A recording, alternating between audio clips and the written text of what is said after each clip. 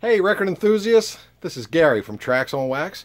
Just want to remind you that for the month of August, all our budget albums are only 50 cents a piece. It's an excellent time to do some crate digging.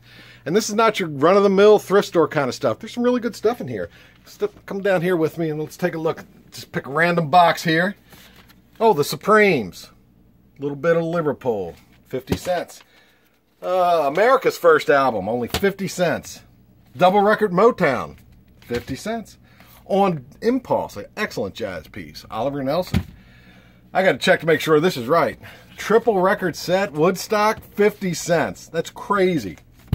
Oh, and even Woodstock 2, complete the collection, only 50 cents. So as you can see, it's not your normal stuff. Some pretty good stuff in there. Excellent time to do a little crate digging this summer, all month long, every day in August. 50 cents a piece for the budget albums. We are open Saturdays 11 to 5, Sundays 12 to 4, and during the week 11 to 8. Come on down, spend a day with us. We'll talk to you soon.